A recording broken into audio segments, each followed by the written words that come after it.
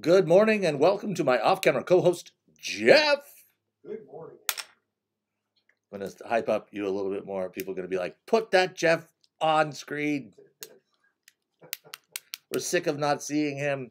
I know you guys. I'm very lucky. All right, let's see what's in Cornerstone today. Volunteers are needed for an emergency exercise event. Volunteers, you can be a point of dis. Oh, there's an emergency exercise coming up this week. Uh, to one of the things, Jeff, when an emergency happens, the last thing you want to be do is figuring out how to cope with the emergency. You've got to get to work. So the only way to do that is to practice. Like a hor, the most horrible thing can happen, and then if it's not that horrible, at least you know what's going on. So that's what's happening this week. Gonna, uh, there's going to be a crisis uh, exercise. The Alaska Shield 2019 emergency exercise is April 10th through the 12th.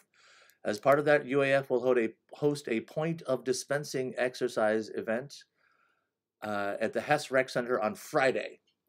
Setup is at 10 a.m. and activities are done by 2. Members of the community will see uh, stuff going on there. Volunteers are needed to be patients from noon to 1 and to receive simulated medication, which will be candy. Nice. nice. No, it's not nice. if you're gonna get fake medication, It might as well be candy. I guess that's true. Uh, but it's going to be a very scary thing that's going on. So it's not like, ooh, give me my candy. It's more like, save my life. Anyway, so they need some volunteers. You can read more about it in the Cornerstone. Um, it's a great way to help first responders uh, prepare for an emergency. And then right below that, Pie in the Face fundraising contest. Oh, let me tell you this story, Jeff. Let me go on a little, let me go on a little down a little. Cast your mind back to the 80s. I was a young man, 10, 11 years old, maybe. No, that would be a little later than that, 14 maybe. And I really, I watched a lot of TV and I wanted to know what it was like to get a pie in the face. So I asked my mom, Mom, will you make a pie and then push it in my face on my birthday? Okay. She was like, What are you talking about? And I was like, Yes, I'm curious to know what that feels like. And she did. You know what it feels like? Gooey. Yes. is what it feels like. Hopefully, it's entertaining for the people on the other side. But the College of Engineering and Mines is holding a pie in the face contest to raise funds for the American Heart Association. Vote for the CEM staff or faculty you think should be pied.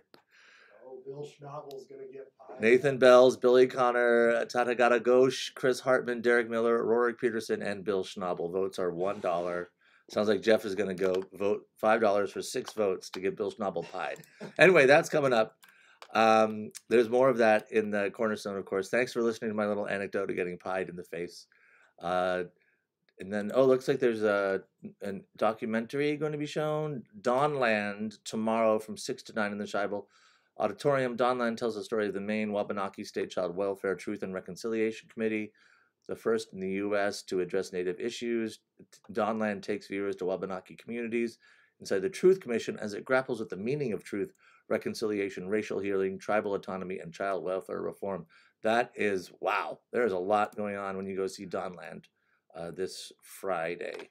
That's that's an important discussion to be having. So you can be part of that right here on the Fairbanks campus. All right, thank you very much, Jeff. Hope you have a good day out there. Thank you, Andrew. Bye.